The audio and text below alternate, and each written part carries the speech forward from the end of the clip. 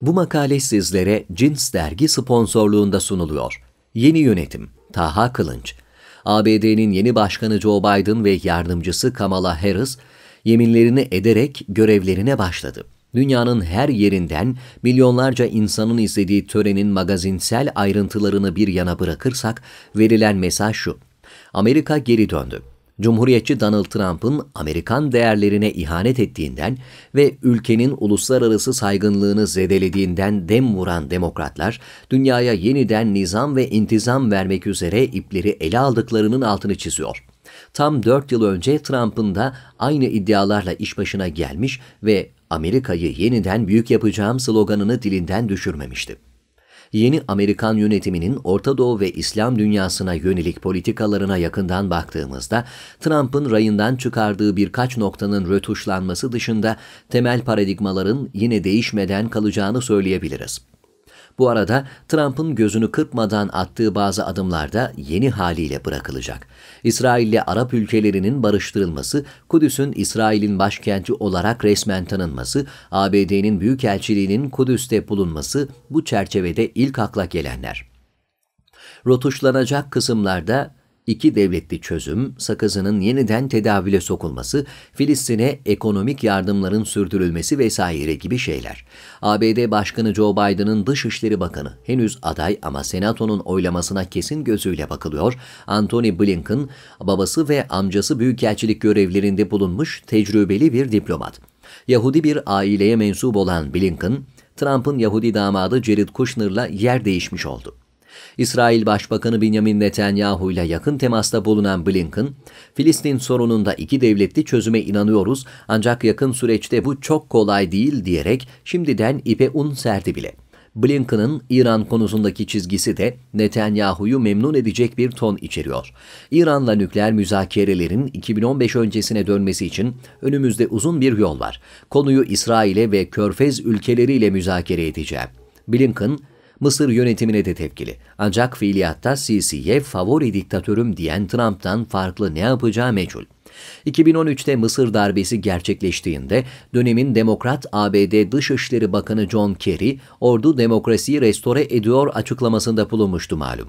Ancak yeni yönetim Trump gibi patavatsız davranmayacağından ve kendince belli usulleri gözeteceğinden Orta Doğu'da bazı ülkelerde geçtiğimiz 4 yıldaki gibi rahat hareket edemeyecek.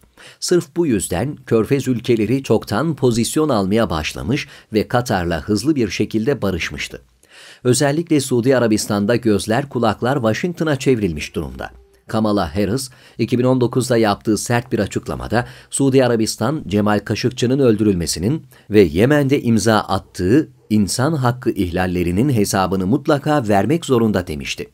Çiçeği burnunda başkan yardımcısının şimdi nasıl davranacağı Riyad'da merak ve endişeyle bekleniyor. Joe Biden yönetiminin Türkiye politikası da yine çok fazla sürpriz barındırmıyor. Temel hedef bölgesinde etkin bir Türkiye görmemek. Bu çerçevede Kıbrıs, Doğu Akdeniz, Kuzey Afrika, Kafkaslar, Suriye gibi alanlarda ABD'yi yine karşımızda bulmaya devam edeceğiz. Trump öngörülemez bir insandı. Washington'da şimdi öngörülebilir bir kadro var. Strateji geliştirme noktasında bu olumlu bir faktör. Tüm bunların ötesinde şu anda şahit olduğumuz süreç tek başına Kamala Harris'ın yükselişine işaret ediyor. Biden'ın herhangi bir sebeple başkanlık görevini bırakmak zorunda kalması durumunda onun koltuğuna oturma hakkı bulunan Harris, şimdiden 2024 başkanlık seçimlerinin de favori adayı olarak görülüyor. Amerikan basını ve onları kopyalayan başka ülkelerin basın yayın organları Kamala Harris için kahramanlık destanları yazıyor. Harris karakterinin Amerikan rüyasının gerçekleşmiş hali olduğuna dair vurgularda cabası. Jamaikalı bir babayla Hindistanlı bir annenin kızı olan Harris, zaman içinde ülkenin en üst makamlarına tırmanmış bir isim. Özel hayatı da en az kamusal hayatı kadar dikkat çekici. Kocası, hukukçu ve iş adamı kariyerini birleştirmiş bir Yahudi. Kamala Harris, Amerikan tarihinin ilk kadın başkan yardımcısı unvanını alırken kocası Emhoff da ilk Yahudi başkan yardımcısı eşi oldu.